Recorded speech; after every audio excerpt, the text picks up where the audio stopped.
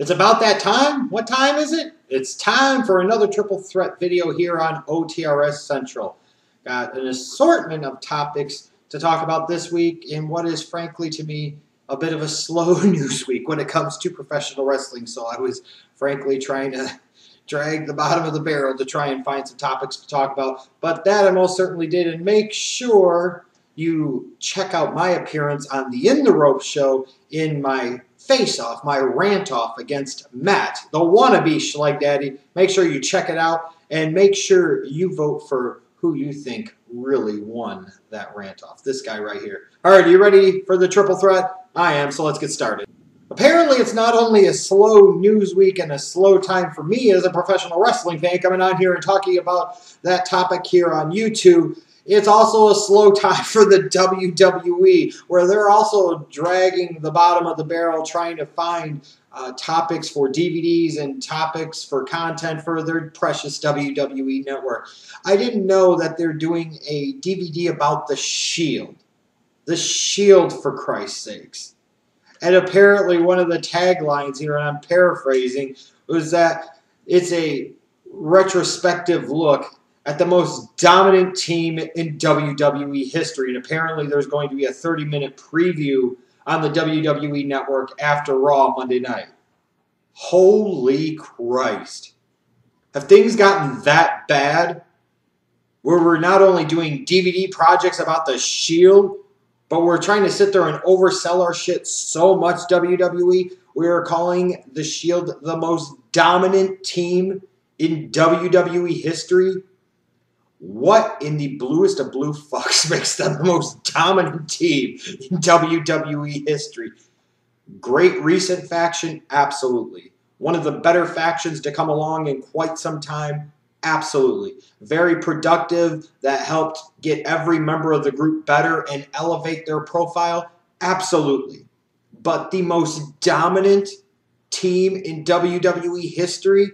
This is why it's hard to ever take the WWE seriously. And this is why people get turned off by the WWE in part. It's always that overselling. It's always trying to sell the here and now and always trying to piss on the past. Nobody in their right mind with a logical brain, in my opinion, would view the Shield as the most dominant team in WWE history. Furthermore, what the hell did they do to deserve a DVD? That's how bad it's gotten. That's how bad it is. Is that we're doing DVD projects about the Shield for Christ's sakes. The Shield. I'm sorry. That's just ludicrous. I understand you got content you got to put out. You got DVDs to still try and sell. You got to have content for your precious WWE network. But holy Christ, the Shield? We're doing a DVD about the Shield. What did they really honestly do that necessitates an entire DVD? Maybe one one hour special on the WWE Network one time, and that is it. Do they really necessitate or justify an entire DVD? And on top of that, being called the most dominant team in WWE history. I told you it was a slow news week. This is about the best I got. Holy Christ. Leave it to me to never miss out on an opportunity to bash on that Memphis mid-card piece of crap, Jeff fucking Jarrett. Well, I see an opportunity, and by God, I'm going to pounce on it, and it feels good to do so. The reason is very simple. I told you a long time ago that I thought GFW was going to be nothing more than a Jeff Jarrett vanity project.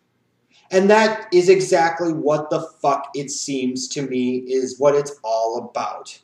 This asshole for over a year has been talking about GFW. It's going to do this. It's going to do that. The bottom line is it hasn't done a fucking thing.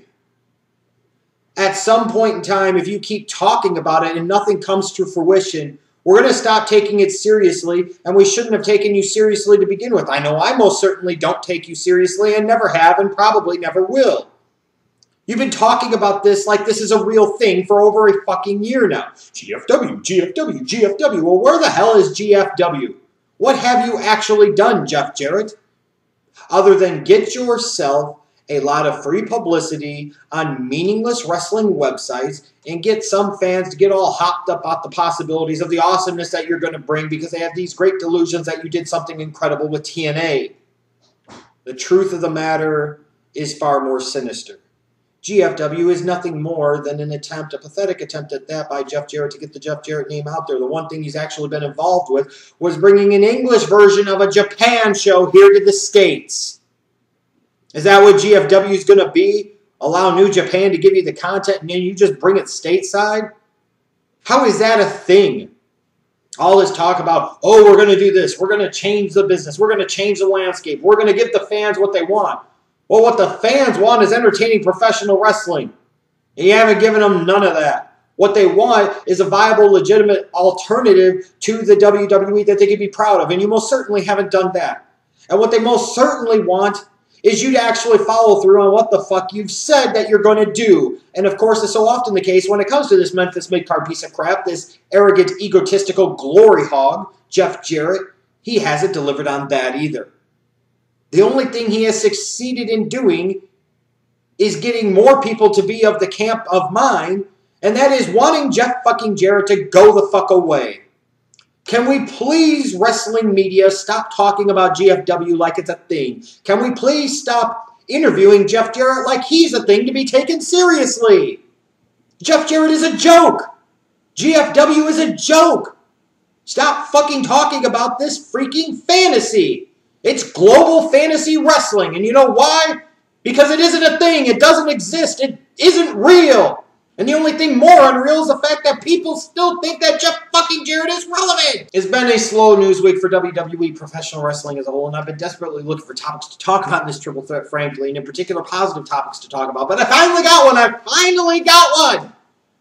And that's the news that, spoiler alert, Alex Riley is back as an active in-ring competitor, albeit on NXT and not on Raw or SmackDown where the fuck he deserves to be. Well, damn it, that's good news to me. Damn it, that's got me a little bit excited. And damn it all, because of this and the fact that, spoiler alert, he's entering into a program with new NXT champion Kevin Owens, apparently. Well, by God, that means that for the next few weeks at least, I've got to watch NXT. I've got no choice. I got to support my dude Alex Riley against my other dude Kevin Owens. That's it, WWE. You've left me no alternative. I have to watch NXT now. Fuck you. Thank you. I just hope that the WWE actually gives Alex Riley a fair shot here because I never understood why they backed off of him the way they did. I don't care what you've heard about the whole crap with Cena. I don't care about the thing about, oh, he botched here and he botched there. Okay, well, who hasn't pissed off Cena at some point in time? You know, Cena's bad for everybody, let's be honest. Uh, and as far as botching, how many times has Cena botched shit, both promos and matches? How many times did Randy Orton over the years botch his fucking finisher, his goddamn finisher, his signature move, and he couldn't get it right? And he still doesn't get it right more often than not when he tries to RKO somebody through a table and it doesn't break. Yeah, we push that guy as much as he's ever been pushed. You know, sometimes guys make mistakes. They stub their toe along the way, and that's the whole point. You live, you learn, you grow, and you get better. And I don't care if you're a fan of Riley or not.